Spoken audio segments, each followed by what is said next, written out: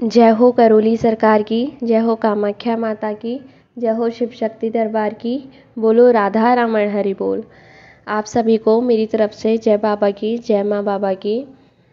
मेरा नाम हर्षिता गोला है और आज मैं आपको बताऊँगी कि मैंने अपना डीएनए क्यों अलग कराया मेरे परिवार से। हम डीएनए में, मेरे मम्मी पापा, हम चार भाई बहन, मैं अपने मम्मी पापा की सबसे बड़ी बेटी हूँ या सबसे बड़ी संतान हूँ। तो हम लोगों ने दिसंबर में हम लोग फ़र्स्ट टाइम दरबार आए थे। हमारे पास पैसे का जुगाड़, सारी चीज़ें नहीं थी तो हम लोगों ने जनवरी तक कैसे भी अरेंजमेंट करके, वो भी बताऊँगी कि यहाँ पर भी बाबा का बहुत बड़ा रोल है, पैसे का अरेंजमेंट करने में। तो हमारा मतलब जनवरी में हमारे सारे हवन हुए। मेरी मम्मी ने नोएडा से ही दरबार नोएडा के दरबार से ही हवन लेकर के गई थी घर पर।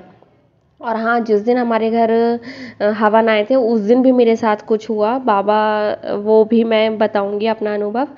तो अभी मेन जो टॉपिक पर मैं वीडियो बना रही हूँ, उस पर मैं बात करती हूँ। तो हमारा जनवरी में हमारे हवन हुए। मैं नोएडा ही रह रही थी। मेरे घर वाले घर पर ले जा कर के हवन किया था। तो मैं व्हाट्सअप वीडियो कॉल के थ्रू वो हवन देखती थी। और फरवरी पाँच चार फरवरी को हमारी सारी चिकित्सा हो गई थी। मेरे पापा दरबार नहीं गए थे तो उनके लिए एक जो ब्लैक मैजिक रहता है, उस वो मैंने किया था और स्मृति चिकित्सा मेरी मम्मी ने किया था। तो फिर हमारी ये सारी चिकित्सा भी हो गई थी। फिर उसके बाद मतलब मेरे लिए तो यार ये था कि मेरे लिए माँ बाबा ही सब कुछ। और मेरे घर वाले मेरे घर वालों ने सिर्फ़ मेरी वजह से वो सारी चीज़ें की, क्योंकि दरबार के बारे में जितना मैंने जाना था, उतना मेरे घर वाले नहीं जान पाए थे। तो उनकी भी कोई गलती नहीं है कि वो दरबार को नहीं मान रहे थे, क्योंकि वो मेरे कहने पर मान रहे थे, लेकिन उन्होंने कुछ खुद से अनुभव नहीं किया था, खुद से कुछ फील नहीं किया था दरबार के लिए। क्योंकि जब मैंने दरबार के बारे में इतनी सारी वीडियोस देखी और ऑब्वियसली जब कोई इंसान इतनी सारी वीडियोस देखेगा दरबार के बारे में, सारी चीज़ें जानेगा तो यार उसे दरबार पर विश्वास आएगा ही आएगा और कुछ एक्सपीरियंस मैंने भी देखे कि नहीं, बाबा ने मेरी लाइफ में कुछ करने लगे थे धीरे धीरे जहाँ जहाँ मुझे ज़रूरत पड़ी, बाबा ने वहाँ मेरा साथ दिया। तो मेरे घर वाले, मेरे घर वाले मतलब उस श्रद्धा भाव से नहीं वो कर रहे थे और मेरी मम्मी किसी दूसरी गुरु परंपरा से जुड़ी हुई थी। मैं नाम मुझे नहीं छिपाना, मैं बता दूँगी, मैं बता दे रही हूँ। वो है, उनका काफ़ी जगह धाम है। क्या मैं भूल रही हूँ। आनंदपुर करके पड़ता है, मध्य प्रदेश में वीना के आसपास और उन गुरुजी का क्या नाम था? परमहंस, पता नहीं क्या, उनको फ़िलहाल आनंदपुर वाले ऐसे कहते हैं। और उनका नगली धाम, ऐसी ऐसी जगह भी उनका मतलब जो भी हैं, दरबार बने हुए हैं तो वो उनसे जुड़ी हुई थी, है ना? तो धीरे धीरे जो मेरी परेशानी थी मतलब वो मतलब एक बार के लिए तो जैसे ख़त्म हो गई थी, हम जब दरबार से आए, और मेरे घर वाले क्या है हमारे जो चाचा जी हैं, वो बालाजी को बहुत ज़्यादा मानते थे तो उनके थ्रू मेरे घर वाले भी मतलब बालाजी को मानने लगे थे और मुझे भी लेकर के मेरी मम्मी एक बार वहाँ बालाजी गई थी। और क्या था कि मतलब हमारे घर में ये और शायद अभी तक भी है ये कि वो लोग शनिवार और मंगलवार को प्याज नहीं खाते, लहसुन नहीं खाते, यही सारी चीज़ें हैं ना। तो मतलब वो लोग उनको मान रहे थे और मुझे ये था कि मैं दरबार में भी रोई थी उन लोगों के सामने कि प्लीज़ आप लोग किसी को मत मानना, आप कोई मंदिर वंदिर मत जाना। मंदिर क्यों नहीं जाना? उसकी भी मैं रीज़न बताऊँगी कि मंदिर क्यों नहीं जाना चाहिए। और जाना चाहिए तो कौन से मंदिर जाना चाहिए? तो मतलब ठीक है तो फिर लेकिन मैं hundred and one percent sure थी कि ये लोग नहीं मानेंगे दरबार को, क्योंकि इन्होंने कोई एक्सपीरियंस नहीं लिया है दरबार से।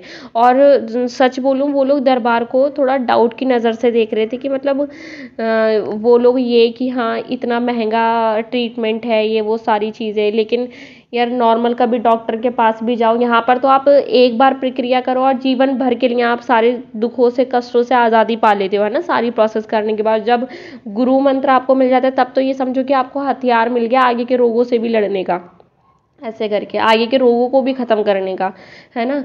तो मतलब मैं तो सारी चीज़ें समझ रही थी कि हाँ दरबार अगर ये जो चिकित्सा है, इतने पैसे में हो रही है तो फिर ये कहाँ कहाँ लग रहा है है ना? लेकिन वो लोगों को नहीं समझ आ रहा था या फिर निगेटिविटी इतना हावी थी कि नहीं वो चीज़ें हो रही थी या जैसे भी था। फ़िलहाल ठीक है तो मेरी मम्मी जो है गुरु जी वही उनसे कहा में इनकी फ़ोटो हटा दो। तो वो मम्मी ने बाद में जब जब आने जाओ तो फ़ोटो नहीं हटाऊँ इनकी ऐसे ऐसे करके। और पता नहीं क्या था। और मेरे घर वाले उन गुरुजी को मानते थे और मेरे भाई बहन भी कि मेरे पापा ने भी ये बोला था कि इन्होंने हमें इतना दिया है तो हम वो क्यों करें। जबकि देने के नाम पर ऐसा कुछ नहीं था। मेरे पापा की भी जॉब छूटी थी, मेरे पापा को डायबिटीज़ ये सारी चीज़ें। तो ऐसा कुछ नहीं कि हाँ दिया, लिया, मुझे नहीं पता। अगर मैं बहुत, मैं भी उन्हें मानती थी, मैं झूठ नहीं बोलूँगी। क्योंकि ये था कि जब एक दुखी इंसान है तो वो कहीं तो गेट खटखटाएगा। और जब हमारे घर में उनको पूछते थे तो मैं कि क्या कह रहे हैं? मेरी ये हालत है ठीक कर दो मुझे कुछ बोलते हैं या तो उधर मिला या जब भी को गली गई जी था। अभी होता है कि हो अट्ठारह, उन्नीस मार्च, समथिंग ऐसे की थी, पता नहीं, ध्यान नहीं मेरे को। तो धीरे धीरे वो हमने चार फरवरी को पूरी प्रक्रिया की और एक महीने में मेरी हालत ऐसी हो गई थी कि जैसे मैं ज़िंदा लाश एकदम। ऐसे हो गया था कि मेरा शरीर बिल्कुल चले ही नहीं, ना भूख लगे, ना प्यास लगे और बहुत गंदा हाल। छह से सात बार सपने मुझे ऐसे है कि मैं मम्मी जो वो गुजे उनको देख थी में। वो इस दिन मेरे सपने में सुबह के मेरी दी जाए ऐसे हाल था। वो डी तो जो भी था, मुझे पता, मैं इस पीठ का लेकिन मुझे मैं बता रही हूँ। कि मेरा शरीर ऐसे हो गया था कि मेरे शरीर में बहुत पीड़ा, बहुत दुखन मतलब बहुत गंदा वाला मेरा वो हो गया था। अब इससे पहले क्या था, मैंने ये सोचा था कि यार मैं हर महीने दरबार जाया करूँगी मतलब एक बार तो मैं जाया ही करूँगी दरबार। तो मैंने टिकट ना अपना काफ़ी मतलब तीन चार हफ़्ते पहले ही कर लिया था। शायद फरवरी में ही मैंने अपना टिकट कर लिया था। मुझे ये नहीं पता था कि बाबा मेरे को इसलिए बुलवाना चाहेंगे, क्योंकि देख तो बाबा भी रहते हैं ना सारी चीज़ें। तो फिर मैं गई दरबार और मतलब बहुत ज़्यादा दुख पीड़ा में गई थी।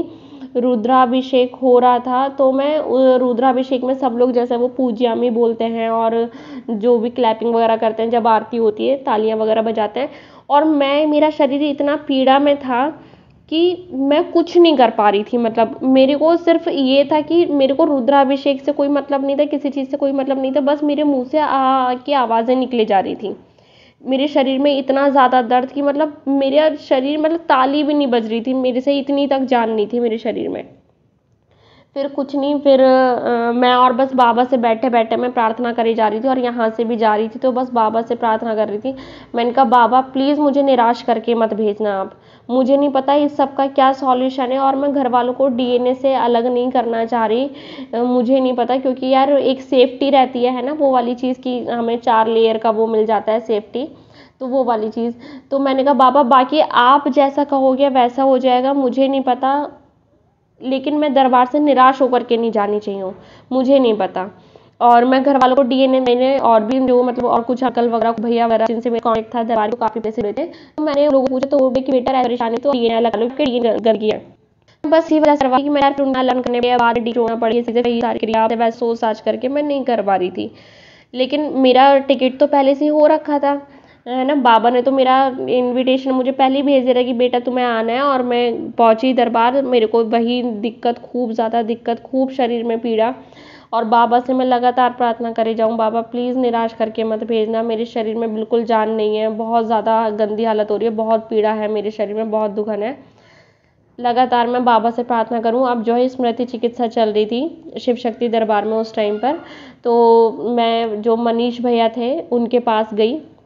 मैंने कहा, भैया, मुझे ऐसे ऐसे परेशानी और मैं बात करते करते ना रोने लगी क्योंकि मैं बहुत ज़्यादा परेशान थी। मतलब बहुत ज़्यादा ऐसा लग रहा था कि मैं अब अब दम, मेरा दम निकला। ऐसे करके मेरा हाल हो रहा था। मैं मनीष भैया के पास गई।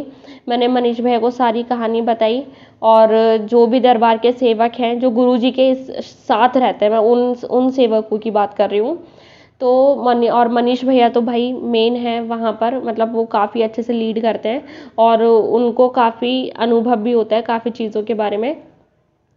तो क्या है, मैंने उनको बोला, अब जैसे भी बाबा की कृपा या बाबा का जैसा आदेश, उन्होंने तुरंत मेरे को बोला, इस पर्ची पर अपना नाम लिखो और डीएनए का संकल्प करवा रहा हूँ, लो। ऐसे करके। और मेरे पास पैसे भी नहीं थे डीएनए अलग कराने के। मैं बाबा से ये भी लगातार प्रार्थना कर रही थी, मैंने कहा, बाबा, अगर मैं डीएनए अलग करवाती भी हूँ, मेरे पास नहीं है एक भी रुपया। क्योंकि था ही नहीं मेरे पास एक भी रुपया। तो फिर मनीष भाई ने हाथों हाथ मेरा डीएनए अलग करवा दिया कि मतलब एक दो मिनट का भी मतलब मैंने जैसे मनीष भाई को सारी कहानी बताई और उन्होंने सारी कहानी मेरी सुनी भी नहीं। बस वो मेरी परेशानी जान गए थे। या तो बाबा या तो क्या डेफिनेटली बाबा के दरबार में बाबा की मर्ज़ी के बिना कुछ नहीं, एक पत्ता भी नहीं हिल सकता। तो बाबा ने उनको आदेश दिया और मनीष भाई ने मेरा हाथों हाथ बिना सारी चीज़ें जाने, मेरे मुँह से मेरी कोई चीज़ नहीं जानी ज़्यादा और बस मेरा डीएनए अलग करवा दिया और यकीन मानना, मैं खुद शॉक्ड थी कि जैसे पता नहीं मेरे शरीर से क्या उड़ गया हो और मेरे शरीर में कोई तकलीफ़ ही नहीं। मतलब इतने से इतनी, ना कोई दुखन, ना कोई ऐसा कि मेरे शरीर में बहुत ज़्यादा कमज़ोरी है कुछ नहीं। मैं इस चीज़ का गुणगान नहीं करना चाहूँगी, लेकिन कहाँ मैं एक तालियाँ नहीं बजा पा रही थी रुद्राभिषेक के वो जो होता है है ना? खड़ी तक नहीं हो पा रही थी आरती के टाइम पर। लेकिन शाम को बाबा के दरबार में पोछा लग रहा था। मैं पोछा लगवा करके आई हूँ। पूरे श्रद्धा भाव से पूरे मन से पूरी एनर्जी के साथ। ये मैंने चमत्कार देखा कि नहीं यार मेरे को तो मतलब इस तरह से मेरा डीएनए अलग हुआ। और मैं ठीक हूँ अभी मेरे डीएनए में मेरे घर वाले नहीं हैं। बट धीरे धीरे धीरे धीरे उनको आ, मतलब दरबार के प्रति श्रद्धा भाव भी आ रही है। अब जैसा भी है, बाबा पता नहीं उनके लिए क्या चाह रहे हैं या कब उनको अपना भक्त बनाना चाह रहे हैं। भक्त तो हैं ही अभी धीरे धीरे कि अभी मेरी मम्मी से बात हुई थी तो मम्मी ने बोला कि हर्षिता, बाबा की एक फ़ोटो भेज देना कि पापा का नया फ़ोन लिया है। तो पापा कह रहे थे कि उसमें अपने फ़ोन पर लगाएँगे आगे कि मेरे पास कोई फ़ोटो नहीं है बाबा का तो बाबा का फ़ोटो मैं लगाऊँगा। तो मुझे बड़ी खुशी होती है जब मेरे घर वाले मतलब दरबार के बारे में बात करते हैं, मेरे भाई बहन बाबा के बारे में इंटरेस्ट लेते हैं और अभी मेरा भाई बाबा की चालीसा निकलवा के लाया कि मेरे को पढ़नी है, मैंने उन लोगों को बताई कि हाँ बाबा की चालीसा पढ़ो। तो मुझे बड़ी खुशी होती है कि हाँ मैं कोई, मैं अब, अभी भी जो भी कोई चीज़ मुझे लगता है कि नहीं, यहाँ से ये लोग थोड़े अट्रैक्ट होंगे दरबार के प्रति तो मैं वो वीडियो भेजती ही भेजती हूँ। जो भी चीज़ें करने के लिए जैसा भी कुछ भी रहता है, मैं उन लोगों को भेजती ही भेजती हूँ। क्योंकि मैं चाहती हूँ, क्योंकि मुझे पता है ना दरबार की वैल्यू मुझे पता है कि दरबार क्या है। दरबार से जुड़ने के बाद क्या आपकी लाइफ में सुख आएगा। मैं ये नहीं कह रही कि बहुत पैसा बरसेगा, ये होगा, वो होगा, वो तो सारी मेहनत भी है और फिर बाबा भी है है ना? अगर जैसे किसी छत के चार पिलर हैं, आप तीन पिलर का काम कर लो, अगर एक पिलर आपका नहीं बन पा रहा, कोई नहीं, बाबा आके वो पिलर बना देंगे, लेकिन आप तीन पिलर तो बनाओ, है ना? तो ये वाली चीज़ है। बाबा ये थोड़ी ना कि चारों के चारों पिलर आपको बना के देंगे। तो ये वाली चीज़ है, मेहनत जारी है। आर्थिक तंगियाँ भी दूर हो जाएँगी, मेरी भी, सबकी भी, क्योंकि बस इतना है कि मेहनत हमें करते जाना है। लेकिन बस ये है कि जो एक सुख आता है ना, क्योंकि मैंने जितना मेरे साथ परेशानियाँ रहीं, उस सब में बस यही मैं सोचती थी कि बस मैं कैसे करके शरीर की परेशानियों से सुखी हो जाऊँ। वही मेरे लिए सबसे बड़ा सुख है, ऐसे करके मैं सोचती थी। तो मैं बस यही कि हाँ बस मेरे घर वाले भी कैसे ही करके बाबा के प्रति श्रद्धा भाव आ जाए और जितना जल्दी इन्हें श्रद्धा भाव आए, जितना मतलब जितना तगड़ा वाला इन्हें श्रद्धा भाव आए, बाबा उतनी जल्दी इन्हें बुला लेंगे। तो अब मैं भी इस बारे में नहीं सोचती, वरना मेरे को बहुत ज़्यादा गिल्ट रहता था कि यार सारा पैसा कर्जा पानी कर कर आके मेरे पेरेंट्स ने मतलब मेरे हवन कराया और मैंने उनको डीएनए से अलग कर दिया। ऐसा करके मुझे बहुत टाइम तक गिल्ट रहा। बट बाद में कुछ चीज़ें ऐसी घटी तो मैं सोचती थी कि नहीं, बाबा की ही इच्छा थी कि जो कि डीएनए अलग कराया, वरना उसका सब कुछ मुझे झेलना पड़ता। वो चीज़ें भी बताऊँगी कि परिवार के साथ क्या हुआ डीएनए अलग कराने पर। तो बस आज के लिए इतना ही। बाकी मिलेंगे जल्द ही नई वीडियो के साथ, नए अनुभव के साथ। सो जय बाबा की, जय हो करोली सरकार की, जय हो कामाख्या माता की, जय हो शिव शक्ति दरबार की, बोलो राधा रमन हरि बोल।